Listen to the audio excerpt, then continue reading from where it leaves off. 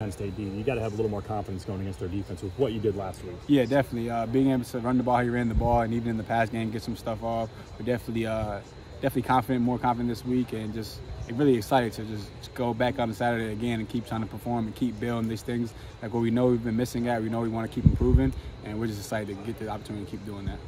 This is one of Nico's really big games two years ago. Mm-hmm. How much has he meant to you guys in the wide receiver room? Yeah, Nico means everything to us. That's our that's our vet. That's our leader. Um, he always knows what to say, right thing to say, and he just leads by example. Everything he does, he works hard. And you know, we're, we're happy that we get to play that video back and we see Nico run that naked over, score a touchdown, and watch the crowd go crazy. So Nico means a lot to this receiver group. How many times have you watched that? Uh, we watch it often because you know it's always on. It's always on social media. You know, it's been up a couple times, so we'll probably watch it sometime in uh, film today and stuff like that, just because you know it's an exciting play for us. As a, as a, competitor, how much do you love going against? I mean, they got cornerbacks that are going to be playing in the NFL soon. Yeah. They got NFL players are over here. So, as a competitor, how much do you relish this chance to play against you know some of the elite players in the country? Yeah, I love I love being able to go out there and play versus those corners. You know, those just to show my ability as well because there's going to be a lot of eyes on that game. So just to be able out there to just run some good routes and show that I can beat great corners like that. Uh, would definitely help rise me as a player and give me a lot more confidence throughout every other game throughout this season obviously awful that Luke goes down on Saturday. Not expecting to see him this weekend, maybe the rest of the season. Um, what do Addison and, and Steve do well? Steven do well. Yeah, those are great players. They are great blockers. Addy has probably one of the best hands I've seen. He makes great catches all the time. So it's definitely hard losing Luke because you know he just brings a lot of presence on the field. Uh, people got to double team him, brings us a lot of attention and stuff like that. But those two guys, I know they're going to step up. They've stepped up all year in practice. They ball out all the time. So I have so much confidence that they're going to go out there and just play their butts off. At what point did you inform Cade that was your first career touchdown? Because he said he did not believe. yeah, yeah, yeah, yeah. Right after we got, in, I said, "Appreciate you giving me my first one." He was like, "That's your first one." I'm like, "Yeah, man. It took a little, took some games to get that first one." So, yeah, definitely was cool to get there. What's that moment like? I mean, you just been trying to get on the field and stay healthy yeah. for so long. Just to, to have that moment and spread the arms, uh, that just had to be everything. Yeah, that, that was everything to me. Just um, just a true testament of just like, you know, keeping your head down and just keep working. And um, yeah, my, my uncle had passed a week ago, so that's why I got the pink hair and stuff like that. So when I put my arms up and I looked up, I was looking up to him because it just felt like I felt him over me at that moment. I'm guessing you had a pretty strong relationship with him. Yeah, that was. Yeah, he called me superstar, so it was a hard one when uh, he passed, but yeah, so it was it was cool to finally get in the end zone a week later after he passed, and just felt like that was for him. Felt like a little divine intervention. Yeah, maybe. yeah, for sure. Where, uh, was a surprise? I mean, oh, he had, he had cancer. He had cancer. Yeah, that's why I dyed of purple for the cancer. Yeah, so. Okay. Sorry.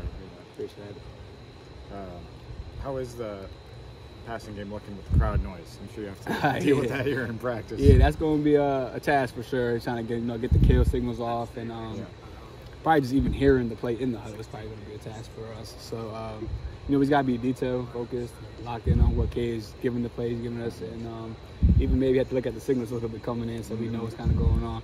But we've been we've been going well in practice. All the plays have been going well. Uh, no false starts. We're hearing all the plays. We're getting all the signals good. So everything's looking good right now, and our confidence going to look good on Saturday. Did you get a lot of props for your blocking this past weekend in the film room? I, I got some love. Yeah, I got yeah? some love for the couple blocks I got. You know, that's my job though, so uh, can't get too much love for it because I got to do it. But definitely got some love from Cope. Yeah, I mean that's not why you play football probably initially. yeah, it is a big deal here. It is right? a big deal, definitely. You know, spring the running backs and uh, let them have days like they had last week. That that screen pass to, to Leshon, I mean, you made that happen down the field, right? Yeah, yeah. Leshon, you know, great play, great call by Brian. Was, uh, they're running a blitz aggressive too. He got got off on it, and then just doing my job, like I said, just being out there blocking, knowing that I know that Leshon's gonna have a lot of opportunity to get this one in the end zone. So just doing my job to make sure he did get in the end zone. This is fairly close to home for you, yep. at least in terms of Big Ten. Um, Got a lot of people coming? Yeah, I got a lot of family coming out to the games, uh, friends and stuff like that. So excited for them to finally get to watch me play in person. They have one of the best secondaries in the country. Yeah. Um, what, what's the challenge going up against Kalen King, those guys like that. Yeah, those are great, great corners. So we're gonna have to use all of our tools that we've been, you know, uh, going through from the off season to practice now to be able to beat those guys in one-on-one coverage. They like to play, press up, play a little offhand, jam man, stuff like that. So we're gonna have to be physical versus them because they're great corners, they're great speed. So it's definitely gonna be a task for us, and I know all the receivers are ready for that task. You're a guy who knows all about fashion. What do you think of the black pants? yeah, if black pants are cool, I'm happy we got, got a little swag going to us this week. yeah. So with with the passing of your uncle, did anybody, any family members say anything to you before the game about it to play for him or, or anything like that? Nah, nah, they just uh, you know, no one really texted me saying anything about that. I just felt like that's something that was in my mind, you know, Sure. just my yeah, I just wanted to perform and uh, just know that he's watching over me. He's just he been asking me for a touchdown for a while now, so it was just it was cool to finally get that one, and, and I just know he was watching down. You tore your ACL and then you broke your hand. What like kept you going through those times? Achilles, but Achilles, yeah. yeah, uh, you know, just family, family, friends, the coaches here. These good guys just like kept me around, kept me involved in everything. So I never got too low at anything. And just knowing that like I love football, so just knowing that I wanted to get back out here and be able to help the team and be able to play the sport that I love so much, uh, just kept me driving, kept me just coming out here every day. Even when I was on a little scooter pushing around, just knowing that this can't happen forever. So something something shall pass. And I was like, so just kept me going to know that this is my this is my love. I love doing this stuff. So What's your relationship like with your mom? I know she was here for the past three weeks. yeah, yeah, that's my favorite person in the world. Uh, we got the best relationship ever. Um, she does everything for me.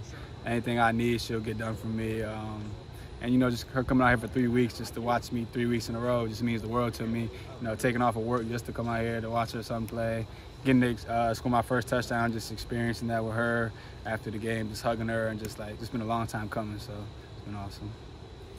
Yeah, she's been she's been great on social media all these years. So, so a nurse, so you know she's you know she works hard. Yeah. Yep. Um, what's it like? I'm sure you've already answered this, but playing nearby in the same region anyway that you you uh, grew up. I mean, you gonna have extra family or extra friends there? Yeah, definitely gonna have extra family, extra friends. Uh, probably maybe 40 plus people over there for me. So that'll be exciting to try to play in front of them. And uh, yeah, I'm excited to play in front of them and excited to play in front of all the people there too. So it's gonna be a great opportunity. How do you not let the moment get too big? It's gotta be just level-headed. Um, it's, it's just a, it's just another game of football. Can't make it too big. Can't make it too little. You just gotta just be the same regular game. Regular game. You've been out here putting all this work in, and you just know what you're capable of doing. So can't let it get too big where you start getting a little antsy. You might have some butterflies in the game, but that's just because what it is. You, but you still gotta know that all the work that you put in led you to that moment. You gotta be confident. The secondary's probably on the same level as maybe Iowa State's or your guys' secondary. Um, what what do you think you're? How do you think you guys are going to have to compete collectively in order to advance the ball against a really good secondary? Like? Yeah, we're gonna have to be disciplined and execute uh, a lot. So they're they're definitely great and they're athletic. They got people all across the board. So receiver wise, we're definitely gonna be physical versus the corners. We're gonna have to use a lot of our tools. It's not gonna be able to just try to run by somebody. They're, they're great. They mirror technique well. So we're gonna have to be able to do what we've been practicing and implement that in the game. Like you were talking about, you can't get too high where you're kind of being out there with bad feet, bad technique. So it's gonna all come come together from practice to the game and just keeping a level head.